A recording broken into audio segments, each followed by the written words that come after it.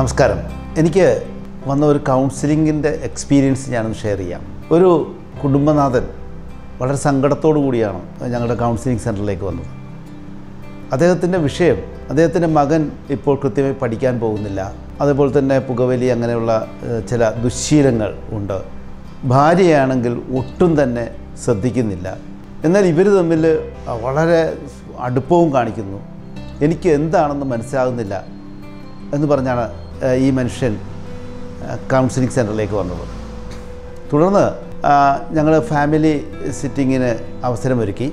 വളരെ രസകരമായ സംഭവം എന്ന് പറഞ്ഞാൽ ഈ അമ്മയ്ക്ക് വലിയ ഇംഗ്ലീഷ് പരിജ്ഞാനമൊന്നുമില്ല. മകൻ സി ബി എസ് ഇ സ്കൂളിലാണ് പഠിക്കുന്നത്. ഒരു ദിവസം ഈ അമ്മയുടെ ഫോണിലേക്ക് ഒരു മെസ്സേജ് വരികയാണ് താങ്കൾക്ക് ഒരു കോടി രൂപ സമ്മാനമായി കിട്ടിയിരിക്കുന്നു എന്ന് പറഞ്ഞിട്ട്. ഇത് വായിച്ചിട്ട് മനസ്സിലാകുന്നില്ല പക്ഷേ ഈ ഒരു കോടി എന്ന് പറയുന്ന എമൗണ്ട് മാത്രം മനസ്സിലായി. അങ്ങനെ ഈ മകനെ ഏൽപ്പിക്കുകയാണ് എന്താണ് എന്നുള്ളത്. മകൻ അങ്ങനെ ഈ നമ്പറിലേക്ക് ഫോൺ ചെയ്യുന്നു ഇംഗ്ലീഷിൽ അവരുമായിട്ട് സംസാരിക്കുന്നു.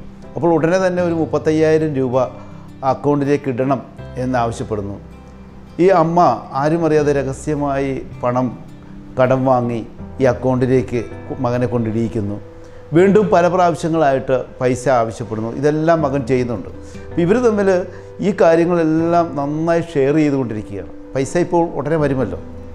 പക്ഷെ കുറച്ച് നാൾ കഴിഞ്ഞപ്പോഴാണ് സംഭവം കൈവിട്ടു പോയി എന്ന് തിരിച്ചറിയുന്നത്. ഈ ഒരു തിരിച്ചറിവിൽ നിന്നും അമ്മ വളരെ അസ്വസ്ഥമാകും. ഈ അമ്മ ഉടനെ തന്നെ വല്ലാതെ അസ്വസ്ഥമാകുകയും കുട്ടി വേറൊരു തരത്തിൽ അവൻ പഠനത്തിൽ ശ്രദ്ധിക്കാതെ വരികയൊക്കെ ചെയ്യുന്നുണ്ട്. പക്ഷേ ഈ വിവരം ഒന്നും തന്നെ ഈ കുടുംബനാഥനായ ഈ മനുഷ്യൻ അറിയുന്നില്ല. ഇവിടെ എന്താണ് സംഭവിച്ചത്? ഇവിടെ സംഭവിച്ചത് നമ്മളുടെ ജീവിതം മുന്നോട്ട് കൊണ്ടുപോകുമ്പോൾ നമുക്ക് ജീവിതത്തിന്റെ പല ഘട്ടങ്ങളിൽ ഉപയോഗിക്കേണ്ട നമ്മുടെ തലച്ചോറിൽ തന്നെ സെറ്റ് ചെയ്ത് വെച്ചിരിക്കുന്ന അല്ലെങ്കിൽ നമുക്ക് ദീർഘമായ നെറ്റിത്തടത്തിന് പിന്നിൽ ഒളിപ്പിച്ചു വെച്ചിരിക്കുന്ന ഫ്രോണ്ടൽ കോട്ടക്സ് എന്ന് പറയുന്ന തലച്ചോറിന്റെ ഒരു അവയവം ഉണ്ട്. ഇതിന്റെ ജോലി എന്ന് പറയുന്നത് ക്രിട്ടിക്കൽ തിങ്കിങ് ആണ്. തിങ്കിങ് പ്ലാനിങ് അനാലിസിസ് നമുക്ക് ചുരുക്കി പറഞ്ഞാൽ ഇതിനെ ടാപ്പ് എന്ന് പറയും. ഇതിനു വേണ്ടിയാണ് ഈ സിസ്റ്റം ഒരുക്കി വച്ചിരിക്കുന്നത്. പക്ഷേ ഇവരെ സംബന്ധിച്ച് ഈ അവ ഈ സിസ്റ്റത്തെ ഉപയോഗപ്പെടുത്തിയില്ല എന്നുള്ളതാണ് ഈ ഇവരുടെ ഈ ദുർഗതിക്ക് കാരണം. ആദ്യം നമ്മൾ അവയർനെസ്സിനെ കുറിച്ചും തുടർന്ന് എമ്പതിയെക്കുറിച്ചും നമ്മൾ മനസ്സിലാക്കി. ഇനി ഈ എമ്പതി എമ്പതിയുടെ അവയർനെസ് കുറഞ്ഞ അവസ്ഥയാണ് സിമ്പതി എന്ന് നമുക്ക് പറയാൻ പറ്റും. സിമ്പതിയിലേക്ക് പോകുമ്പോഴാണ് മനുഷ്യൻ വലിയ വലിയ അബദ്ധങ്ങളും അവന്റെ ജീവന് തന്നെ നഷ്ടം വരാവുന്ന പല കാര്യങ്ങൾ ചെയ്യുന്നത്. ഒരു ബംഗാളിയെ രക്ഷിക്കുന്നതിന് വേണ്ടി ഒരു മലയാളിയുടെ ജീവൻ നഷ്ടപ്പെട്ട ഒരു ചരിത്രം നമുക്കറിയാവുന്നതാണ്. അവിടെ എല്ലാം സംഭവിക്കുന്നത് അവയർനെസ് പൂർണമായും നഷ്ടപ്പെട്ടിട്ട് സിമ്പതിയുടെ പിടിയിൽ നമ്മൾ പെട്ടുപോകും. ഇവിടെ അങ്ങനെ പെട്ടുപോകാതിരിക്കുന്നതിന് വേണ്ടി മനുഷ്യനിൽ രൂപം കൊണ്ടെത്തിരിക്കുന്ന അല്ലെങ്കിൽ പ്രകൃതി ഒരുക്കി വെച്ചിരിക്കുന്ന ഒരു പ്രൊട്ടക്ഷൻ സംവിധാനമാണ് ക്രിട്ടിക്കൽ തിങ്കിങ് അഥവാ വിമർശനാത്മക ബുദ്ധി. ക്രിട്ടിക്കൽ തിങ്കിങ് എന്ന് പറയുന്നത് നമ്മുടെ ഉള്ളിൽ നാം മനസ്സിലാക്കി എമ്പതി എന്ന് പറയുന്ന ഒരു അവസ്ഥയുണ്ട്. ഈ എമ്പതി ശക്തമാകുകയോ അല്ലെങ്കിൽ അവയർനെസ്സിന്റെ തലം താഴ്ന്നു പോവുകയോ ചെയ്യുമ്പോൾ ഇത് സിമ്പതിയിലേക്ക് മാറാനുള്ള സാധ്യതയുണ്ട്. അങ്ങനെ സിമ്പതിയിലേക്ക് മാറുമ്പോൾ നമ്മളുടെ എടുക്കുന്ന ആക്ഷൻ നമ്മൾ ചെയ്യാൻ പോകുന്ന പെരുമാറ്റങ്ങളിൽ അത് ശരിയായ ഫലം കിട്ടില്ല. എന്ന് മാത്രമല്ല വലിയ കുഴപ്പങ്ങളിലേക്ക് ചെന്ന് ചാടാൻ സാധ്യതയുണ്ട്. അപ്പോൾ ആ ഒരു സിറ്റുവേഷനെ അതിജീവിക്കുന്നതിന് വേണ്ടി നമുക്ക് കിട്ടിയിരിക്കുന്ന മറ്റൊരു ഫാക്കൽറ്റിയാണ് ക്രിട്ടിക്കൽ തിങ്കിങ് എന്ന് പറയുന്നത്. ഈ ക്രിട്ടിക്കൽ തിങ്കിങ്ങിലൂടെ നമ്മുടെ പ്രശ്നങ്ങളെ വിലയിരുത്തുവാനായിട്ട് നമുക്ക് കഴിയും. അതായത് നമ്മുടെ മുന്നിൽ ഓപ്ഷനുകൾ ഉണ്ടാവും. ചോയ്സ് ഉണ്ടാകും ഇതിലേത് തിരഞ്ഞെടുക്കണം എന്നുള്ളതിനെക്കുറിച്ച് വ്യക്തമായ അനാലിസിസ് നടത്തി പ്ലാൻ ചെയ്യുന്ന അവസ്ഥയെയാണ് ക്രിട്ടിക്കൽ തിങ്കിങ് എന്ന് പറയുന്നത്. ആധുനിക കാലത്തിൽ ക്രിട്ടിക്കൽ തിങ്കിങ്ങിന് വളരെയധികം പ്രാധാന്യമുണ്ട്. കാരണം ഓപ്ഷനുകൾ മനുഷ്യന് മാത്രമാണ് അവന്റെ മുന്നിൽ തിരഞ്ഞെടുക്കുവാനുള്ള തിരഞ്ഞെടുപ്പിനുള്ള ആവശ്യകത വരുന്നുള്ളൂ. വേറെ ജീവജാലങ്ങൾക്കൊന്നും ഒന്നും തിരഞ്ഞെടുക്കേണ്ടി വരുന്നില്ല. പുതിയ കാലഘട്ടത്തിൽ ഈ ഓപ്ഷനുകൾ വളരെ വളരെ കൂടുതലാണ്. ഒരു പഴയ തലമുറയിൽ അവർക്കൊരു ആയിരം രൂപ കയ്യിൽ കിട്ടിയാൽ അത് ചെലവഴിക്കുന്നതിന് വളരെ കുറച്ച് ഓപ്ഷനുകൾ മാത്രമേ ഉണ്ടായിരുന്നുള്ളൂ. എന്നാൽ ഇന്ന് പുതിയ കാലഘട്ടത്തിൽ ഒരുപാട് ഉദാഹരണത്തിന് പണ്ട് നമ്മളൊരു കാറ് വാങ്ങാനായിട്ട് തീരുമാനിക്കുകയാണെങ്കിൽ അംബാസഡർ മാരുതി പത്മിനി ഈ മൂന്ന് കാറുകളാണ്. ഇന്ന് എ ടു ഇസഡ് എയിൽ തുടങ്ങി ഇസഡ് വരെ ഉള്ള അക്ഷരങ്ങളിൽ ആരംഭിക്കുന്ന എല്ലാ കാറുകളും ഇന്ന് വിപണിയിലുണ്ട്. നമ്മുടെ ജീവിതത്തിൽ നമ്മൾ എപ്പോഴും നമുക്ക് ഈ തിരഞ്ഞെടുപ്പ് എന്ന് പറയുന്നത് ഒഴിവാക്കാൻ പറ്റാത്തൊരു ഘടകമാണ്. അതിൽ പ്രധാനമായും നമ്മുടെ ഉള്ളിൽ രണ്ട് അവസ്ഥകളുണ്ട്. ഒന്ന് നീട് വാണ്ട്. എന്താണ് നീട് എന്ന് നമുക്ക് പരിശോധിക്കാം. ഒരു ഉദാഹരണം. എനിക്ക് ദാഹിക്കുന്നു. എന്താണ് വേണ്ടത്? എനിക്ക് വെള്ളമാണ് വേണ്ടത്. പക്ഷേ ഞാൻ കൊക്കക്കോള അന്വേഷിച്ച് നടക്കുകയാണ്. എനിക്ക് കൊക്കക്കോള കുടിക്കണം. ഇവിടെ അത് വാണ്ടാണ്. ഇതിനെയാണ് വാണ്ട് എന്ന് പറയുന്നത്. നമ്മളുടെ പരസ്യങ്ങളെല്ലാം തന്നെ നീടിനെ വാണ്ടാക്കുന്ന ഒരു പ്രോസസ്സാണ് നടക്കുന്നത്.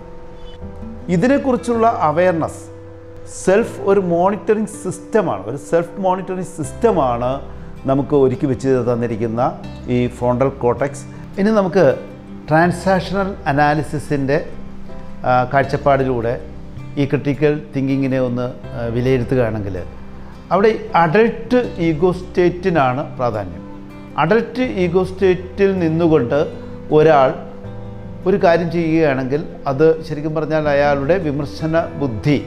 കാരണം എന്താണ്? അയാളുടെ പേരന്റ് ഈഗോ സ്റ്റേറ്റിൽ നിന്നും ചൈൽഡ് ഈഗോ സ്റ്റേറ്റിൽ നിന്നും ഒരേപോലെ തന്നെ മെസ്സേജുകൾ വരും. ഈ രണ്ട് മെസ്സേജുകളെ തട്ടിച്ചു നോക്കി ഈ സന്ദർഭത്തിൽ എന്ത് വേണം എന്ന് തീരുമാനിക്കുവാനായിട്ട് കഴിയും. അവിടെയും വേണമെങ്കിൽ ദാഹിക്കുന്നു. വെള്ളം വേണം. ഉടനെ അടുത്തത് കൊക്കക്കോള വേണം. അടുത്ത മെസ്സേജ് പോക്കറ്റിൽ ക്യാഷ് എത്രയുണ്ട്? അത് അഡൽട്ടിന്റെ സംഭവമാണ്. ആ ക്യാഷ് ഉണ്ട്. കുടിക്കാൻ ആഗ്രഹമുണ്ട്. എന്നാൽ കുടിച്ചേക്കാം. അതല്ല വെള്ളം കുടിച്ചാൽ മതി. ഇപ്പോൾ ഇതേ ഉള്ളൂ. ഇത് അഡൽട്ടിന്റെ സംഭവമാണ്. അഡൽട്ടാണ് അവിടെ തീരുമാനിക്കുന്നത്. അപ്പോൾ അങ്ങനെയും നമുക്ക് ഇതിനെ മനസ്സിലാക്കാവുന്നതാണ്. എങ്ങനെയാണ് നമ്മൾ ഈ ക്രിട്ടിക്കൽ തിങ്കിങ് പ്രായോഗിക തലത്തിൽ കൊണ്ടുവരുന്നത് എന്ന് പരിശോധിക്കാം. എനിക്ക് തോന്നുന്നു ഒരു ഉദാഹരണം പറഞ്ഞു കഴിഞ്ഞാൽ നമുക്ക് എളുപ്പത്തിൽ മനസ്സിലാക്കാനായിട്ട് കഴിയും. ഒരു അമ്മ അമ്മയ്ക്ക് ഒരു ഷോപ്പിങ്ങിന് പോകണം. വീട്ടിൽ തന്റെ നാല് വയസ്സായ കുട്ടി മാത്രമേ ഉള്ളൂ. കുട്ടിയെയും കൊണ്ട് പോയേ പറ്റൂ. പക്ഷേ കുട്ടി വരികയാണെങ്കിൽ കുട്ടിയുടെ കയ്യിൽ കുട്ടിയുടെ അത്രയും വലിപ്പമുള്ള ഒരു പാവയുമുണ്ട്. ഈ പാവയില്ലാതെ കുട്ടി വരുന്ന പ്രശ്നമില്ല. കുട്ടി വളരെ വല്ല വല്ലാത്ത രീതിയിൽ വാശി പിടിക്കുകയാണ്. അമ്മയ്ക്കാണെങ്കിൽ ഷോപ്പിങ്ങിന് പോയേ പറ്റൂ. കുട്ടിയെയും കൊണ്ട് പോയേ പറ്റൂ. പക്ഷേ ഈ പാവയുമായിട്ട് കൊണ്ടുപോകാൻ പറ്റില്ല. ഷോപ്പിലൊക്കെ പാവയുമായിട്ട് കൊണ്ടുപോകുക എന്ന് പറയുന്നത് വളരെ അസ്വസ്ഥകരമായ കാര്യമാണ്. ഇവിടെ അമ്മ ഒരു വല്ലാത്ത പ്രശ്നത്തിലാണ്. ആദ്യം അറിയേണ്ടത് എന്താണ് എന്റെ പ്രശ്നം? എന്റെ പ്രശ്നം എന്ന് പറയുന്നത് എനിക്ക് കുട്ടിയെ കൊണ്ടുപോകണം എന്നുള്ളതാണ്. എന്നാൽ പാവ ഇല്ലാതെ കൊണ്ടുപോകണം എന്നുള്ളതാണ് എന്റെ എന്റെ വിഷയം. ഞാനിപ്പോൾ നേരിടുന്ന വിഷയം. അപ്പോൾ ആ പ്രശ്നം എന്തെന്ന് അമ്മ തിരിച്ചറിഞ്ഞു. ഇനി ഈ പ്രശ്നത്തിന് പരിഹാരം എന്തെല്ലാമാണ്? കുട്ടിയെ വേണമെങ്കിൽ അടുത്ത വീട്ടുകാരെ ഏൽപ്പിച്ചിട്ട് പോകാം. ബലമായി പാവ പിടിച്ച് വാങ്ങി മുറിയിലിട്ട് അടച്ചിട്ട് കുട്ടിയും പൊക്കി രണ്ടടിയും കൊടുത്ത് വേണമെങ്കിൽ കൊണ്ടുപോകാം. അല്ലെങ്കിൽ ഇന്ന് ഷോപ്പിങ്ങിന് പോകണ്ട എന്ന് വെക്കാം. ഇത്തരത്തിൽ ഒരുപാട് ഓപ്ഷനുകൾ നമ്മുടെ മുന്നിൽ വരുന്നുണ്ട്. ഇതിൽ ഏതിനെ എടുക്കണം എന്നുള്ള ഒരു അനാലിസിസ് നമുക്ക് നടത്താനായിട്ട് പറ്റും. അങ്ങനെ നോക്കുമ്പോഴത്തേക്കും നമുക്ക് ഈ കാര്യങ്ങളൊക്കെ ചെയ്യാം. പക്ഷേ ഇതിൽ ഏറ്റവും നല്ലത് തിരഞ്ഞെടുക്കുവാൻ കഴിയണം. ഈ അമ്മ അമ്മയുടെ വിമർശന ബുദ്ധി ഉപയോഗിച്ചുകൊണ്ട് എടുത്ത തിരഞ്ഞെടുപ്പ് ഏതാണെന്ന് നമുക്ക് പരിശോധിക്കാം. അപ്പോൾ ഈ അമ്മ എടുത്ത ഒരു നിലപാട്. അമ്മ കുട്ടിയുമായി സംസാരിക്കുന്നു. നീ പാവ എടുത്തുകൊള്ളൂ. പാവ എടുത്ത് കൊണ്ടുവന്നോളൂ. പക്ഷെ ഒരു കണ്ടീഷനുണ്ട്. നമ്മൾ ഷോപ്പിലേക്ക് കയറുമ്പോൾ പാവ വണ്ടിയിൽ തന്നെ സൂക്ഷിക്കണം. കുട്ടി എഗ്രീഡായി.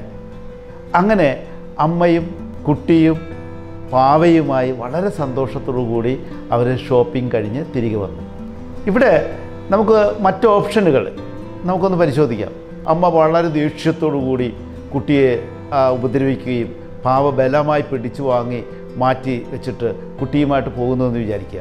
കുട്ടി ആ വാഹനത്തിലിരുന്നു കൊണ്ട് വേണമെങ്കിൽ ഷോപ്പിലെത്തുന്നത് വരെ കരഞ്ഞുകൊണ്ടിരിക്കും. ആ കരച്ചിൽ അമ്മയെ കൂടുതൽ അസ്വസ്ഥമാക്കും. ആ ഡ്രൈവിംഗ് തന്നെ വളരെ അപകടം പിടിച്ചൊരു ഡ്രൈവിംഗ് ആയിരിക്കും. ഈ ഫെസിലിറ്റിയെ സ്വയം വിമർശനം അഥവാ ക്രിട്ടിക്കൽ തിങ്കിങ് എന്ന് പറയുന്ന ഈ ഫെസിലിറ്റിയെ നമുക്ക് നിരന്തരം ഉപയോഗിക്കുവാനായിട്ട് നമുക്ക് കഴിയണം. നമുക്ക് ആവശ്യ സന്ദർഭങ്ങളിൽ ഉപയോഗിക്കേണ്ടതാണ് ഈ ഒരു സംവിധാനം. സ്വയം വിമർശനം അഥവാ വിമർശന ബുദ്ധി എന്നുള്ളത്. അപ്പോൾ ഇവിടെ ശരിക്കും നമുക്ക് അനുഗ്രഹമായി കിട്ടിയിരിക്കുന്ന നമുക്ക് ഉപയോഗിക്കുവാനായി അനുഗ്രഹമായി കിട്ടിയിരിക്കുന്ന ഒന്നാണ് നമ്മുടെ വിമർശന ബുദ്ധി. ഈ വിമർശന ബുദ്ധി നമുക്ക് എല്ലാവർക്കും വേണ്ട രീതിയിൽ വേണ്ട സമയത്ത് വേണ്ടതുപോലെ ഉപയോഗിക്കുവാൻ കഴിയണം എന്നുള്ളതാണ് ഈ കോഴ്സ് കഴിയുമ്പോഴത്തേക്കും നമുക്ക് ഓരോരുത്തർക്കും ഉണ്ടാവേണ്ടത്. ഒരു സ്കില്ലനാകണമെങ്കിൽ ഈ ബുദ്ധി ഈ വിമർശന ബുദ്ധിയെ നന്നായി ഉപയോഗിക്കുന്നവർക്ക് മാത്രമേ കഴിയൂ എന്നുള്ളതാണ് എനിക്ക് പറയുവാനുള്ളത്. ഇനിയും നമുക്ക് മുന്നോട്ട് പോകാം. ബാക്കിയുള്ള സ്കില്ലുകൾ എപ്പോൾ എങ്ങനെ ഉപയോഗിക്കണമെന്നുള്ളത് വരുന്ന ക്ലാസ്സുകളിൽ നമുക്ക് മനസ്സിലാക്കാം. എല്ലാവർക്കും നന്ദി നമസ്കാരം.